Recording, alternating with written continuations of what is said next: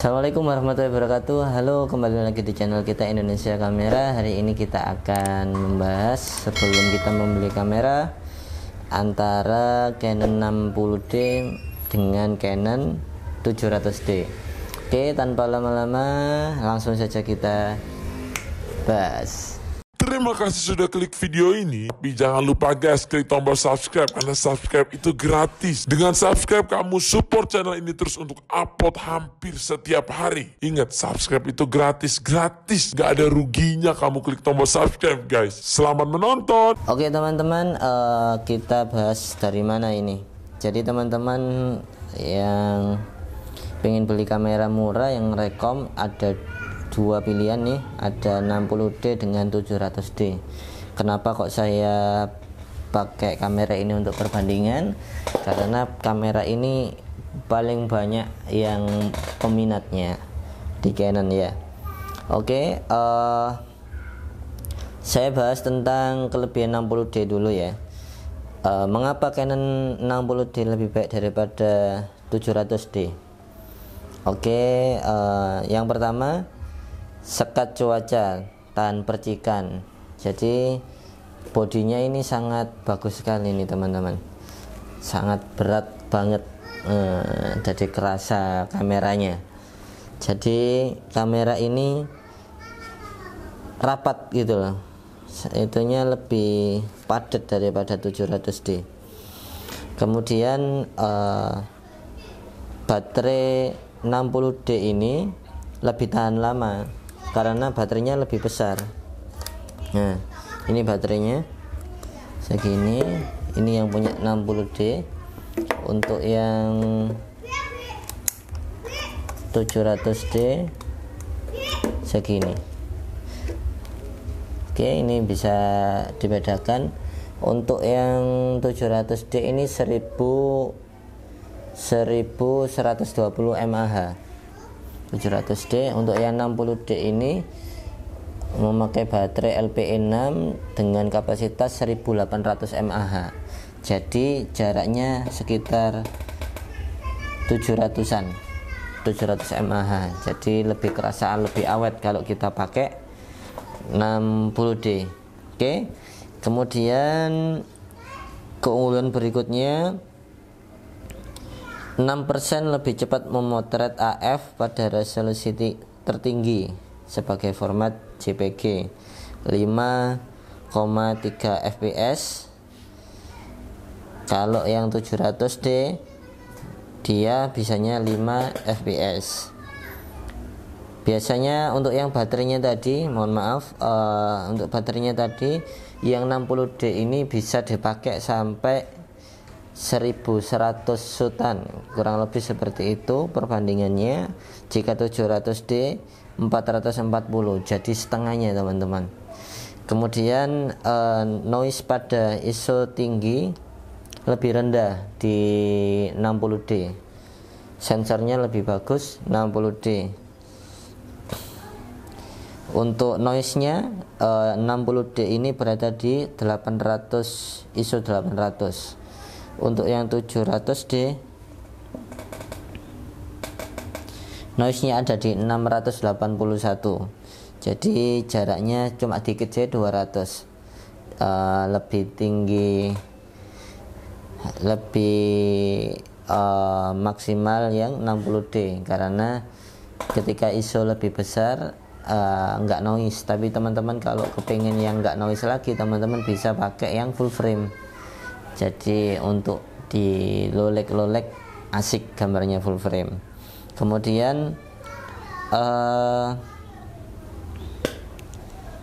anti debu dan tahan air. Uh, ini kita lihat dari web ya.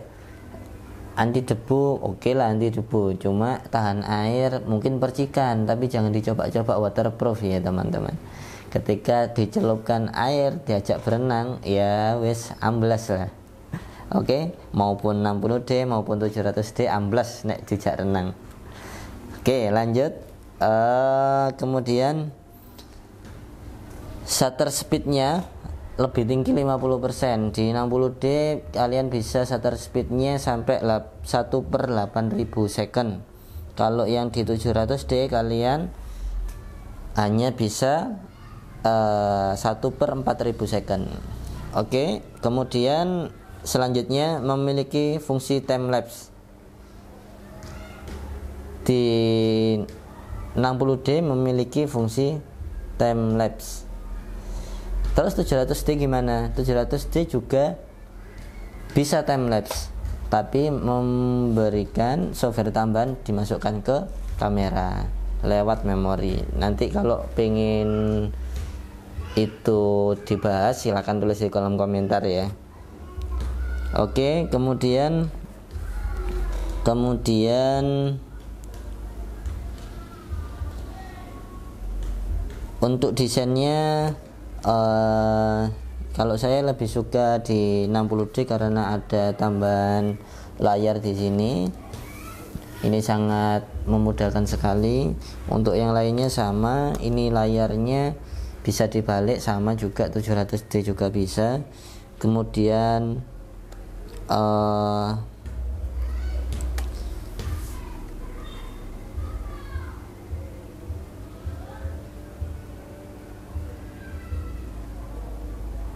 untuk uh, jendela bidik pasti ada kalau di SLR sama.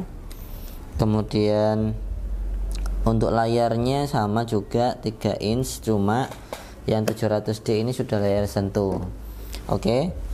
kemudian uh, kenapa kok teman-teman memilih 700D mari kita bahas apa kelebihan 700D dibandingkan 60D kelebihannya ISO-nya lebih tinggi. Jadi 700D ini ISO-nya bisa mencapai 12.800. 12.800 ISO-nya lebih tinggi. Kemudian beratnya lebih ringan. Jadi teman-teman cewek nih, teman-teman cewek itu suka yang ringan-ringan.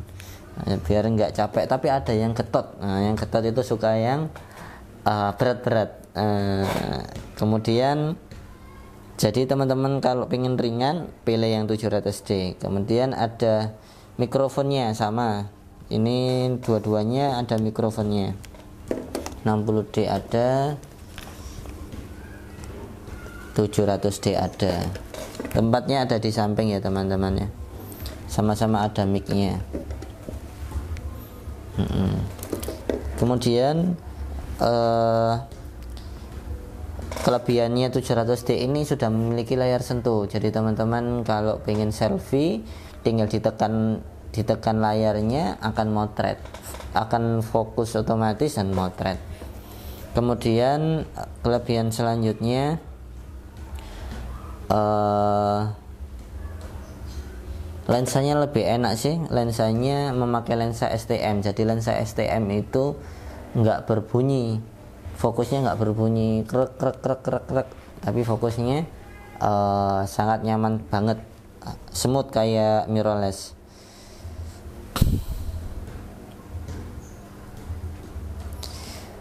Terus kelebihan 700D juga uh, eh, 700D ini lebih mudah daripada 60D karena ini memakai teknologi yang terbaru Nah, tapi sekarang sudah sampai di tahun 2022 ini sudah sampai 800D.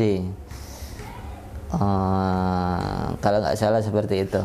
Kalau ada yang lebih, uh, saya belum lihat. Nah, mungkin nanti kita akan bahas di situ. Kemudian uh, sama masih di volume bodinya lebih enteng. Volume bodinya lebih enteng ini. Oke. Okay ah, seperti itu teman-teman jadi teman-teman pengen yang beli 60D ini nih 60D atau beli yang 700D terus berapa harganya harganya cukup murah. Untuk barunya sekarang sudah nggak ada ya teman-teman. Untuk barunya 700D 700D ini sudah tidak ada.